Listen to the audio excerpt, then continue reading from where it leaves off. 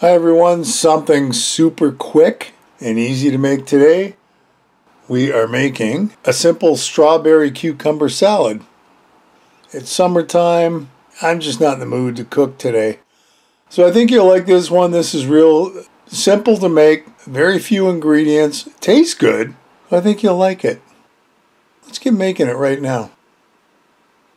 I had everything done up ahead of time. We've got a foil pan to put everything in. That's about a quart and a half of chopped up strawberries. Thanks to my daughter for doing that. Next up, four cups of cucumbers chopped up. Those are out of my garden. I did two good sized cucumbers. I think that'll work. You know, you, uh, pretty well even. Even to what you would do with strawberries, I think will work fine. And we're just going to give them a nice little mixy mix. Now, the only other thing to go in here right now is a red onion. Kind of half of a red onion. I mean, whatever you like as far as onions go. I didn't have any. I just had the, my regular white onions, so in they go till I figure they look about right. A couple good handfuls. You want to give it a little bit of a kick. And next up, our feta cheese. And I just took like a half a brick. So the fun part is we're just going to crumble all this up so that it covers the top. Now this is going to get mixed once again once we get our dressing on, but we're not eating it just yet. We still got a few hours till dinner.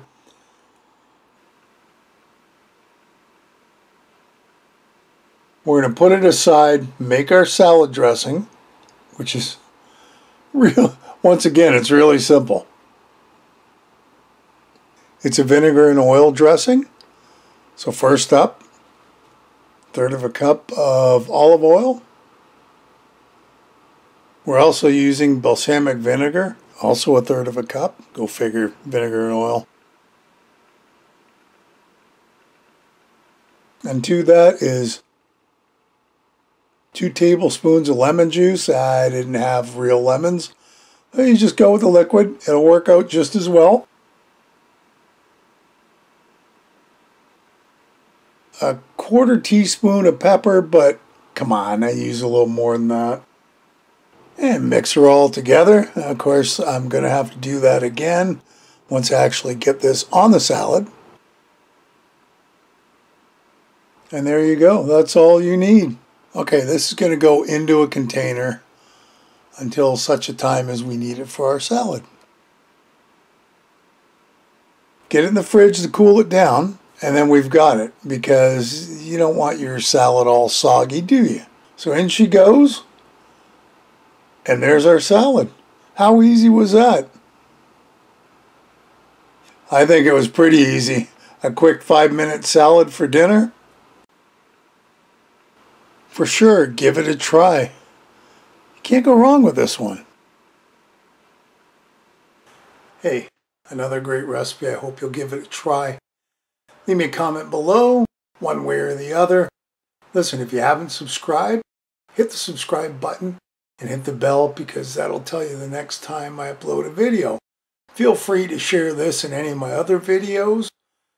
And thanks for stopping by and watching. We'll see you next time. Bye-bye.